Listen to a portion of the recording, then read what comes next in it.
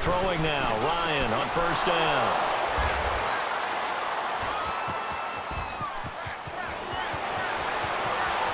Pass the 20.